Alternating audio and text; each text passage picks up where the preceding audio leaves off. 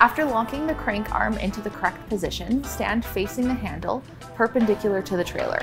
Place one foot closer to the handle and the opposite foot behind you into a staggered stance. This will allow for better support on slippery ground or in the event the dolly legs are stiff. Bend and move at the knees and hips to crank the dolly legs, keeping your core tight and your back relatively straight throughout the movement. Avoid bending or hunching over as you perform this movement.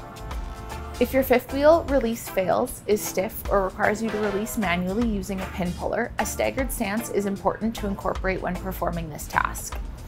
Crouch down or bend forward at the hips to get the hook of the pin puller into the correct position. Be sure the open end of the hook points down to avoid it slipping off as you release the fifth wheel. Once secure, stand up facing the trailer. Brace one foot against the wheel or on the ground close to the tire and have your other foot behind you. Bend your knees slightly as you pull to release the pin.